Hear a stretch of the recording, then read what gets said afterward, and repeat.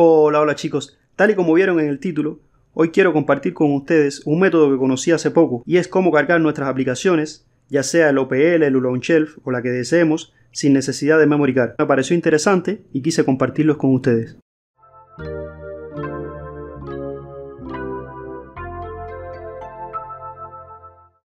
Bueno, las pruebas las vamos a estar realizando con esta consola. Esta es un modelo 79000 que fue la que en videos anteriores le pusimos una Orange Pi para cargar los juegos por red. También le pusimos este circuito para poder apagar y resetear la consola inalámbricamente, gracias a este joystick, que también tuvimos que modificarlo. Pero bueno, no los entretengo más y vamos a lo que realmente nos interesa. Antes que me maten en los comentarios, quería decirles que también se pueden cargar las aplicaciones vía DVD, pero bueno, este no va a ser el caso, ya que en el día de hoy vamos a estar cargando todas las aplicaciones que queramos mediante un dispositivo USB.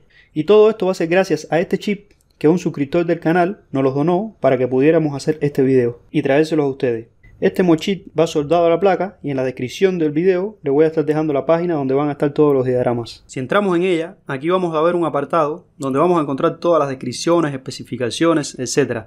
Pero la parte que necesitamos ahora sería acá, donde, donde dice diagrama. Hacemos clic y vamos a encontrar todos los modelos de consola. Ubicamos el de nosotros y si lo que queremos es ver el diagrama, hacemos clic en visualizar y de lo contrario, si lo que necesitamos es descargarlo para conservarlo, hacemos clic acá donde dice download. Nos soldamos el chip guiándonos por el diagrama. Para esto tenemos que tener un poco de conocimiento de electrónica. Yo en este paso adelanté el video para no hacerlo tan largo. Bueno, y una vez que ya tengamos la consola armada y con el chip soldado, agarramos el pendrive y nos vamos al PC. Conectamos el pendrive a la PC, lo abrimos y acá en el escritorio yo tengo una carpeta que se llama aplicaciones. Ahí si vemos tenemos una de las aplicaciones que más utilizamos, por lo menos que más utilizo yo. Lo que hacemos es en el pendrive vamos a hacer clic derecho y vamos a crearnos una nueva carpeta. Y la vamos a llamar boot. B-O-O-T. Todo en minúscula. Es muy importante que sea en minúscula. Entramos y dentro de ella copiamos la aplicación que queramos.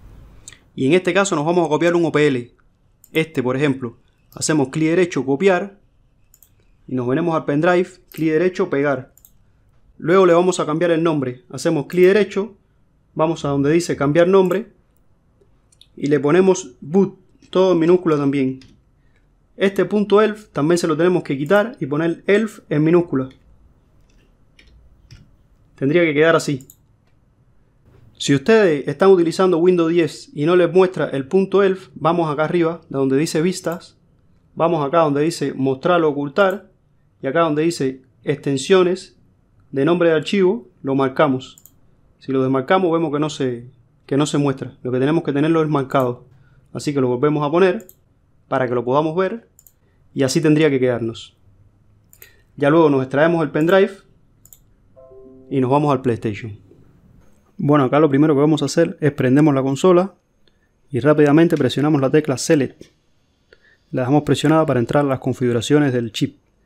En este momento lo que más nos interesa es la parte del buteo. Vamos a bajar donde dice Dev Mode y con la flecha de al lado vamos a poner acá donde dice USB Boot Boot Elf.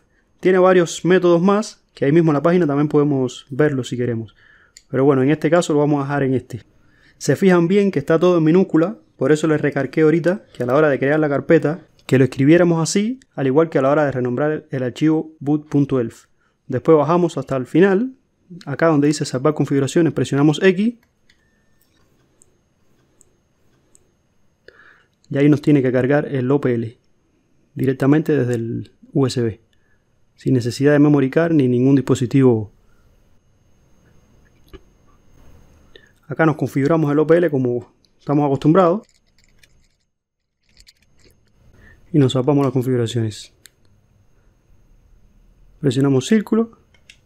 Bueno, y acá no nos detecta juego porque no tenemos juegos copiados en el pendrive.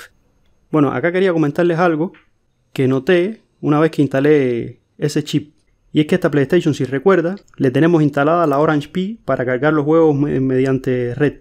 Y acá tenemos un problema. Y fue un error que encontré al colocar este chip que en un momento me hizo pensar no sacar este video, pero después pensándolo bien decidí sí sacarlo porque a la vez es un error que, nos puede llegar a pasar Y como el objetivo de este canal es traerle toda la información a ustedes, ya sea buena o mala, ¿por qué no compartirle esta? Así si a alguien le pasa, ya saben a qué se debe.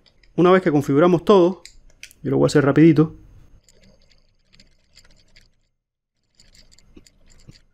Bueno, y el error sería el siguiente. Una vez que configuramos el OPL, para poder cargar los juegos eh, vía red, y venimos y habilitamos la opción del LAN, una vez que sacamos de acá, automáticamente nos da el error 200, y es que no detecta el adaptador de red.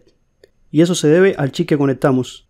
Yo estuve buscando un montón de foros y demás, y a todo el que tiene este chip le sucede. Por eso a su vez también me decidí compartir el video, ya que en esos foros nadie tiene la solución al problema y desconocen que, sea un problema del chip. Pero yo sí ya verifiqué que es un problema del chip porque lo volví a cambiar al matrix y me lo reconoce perfectamente. Y cuando coloco este chip, ahí volvemos a tener el problema. Así que bueno, que ya lo saben, que el que vaya a usar este método, es decir, cargar vía red usando este chip, no, no, desgraciadamente no nos va a servir. A no ser que haya alguna solución que nosotros desconozcamos. Si es así, por favor, déjenoslas en algún comentario y así podemos darle solución a este problema.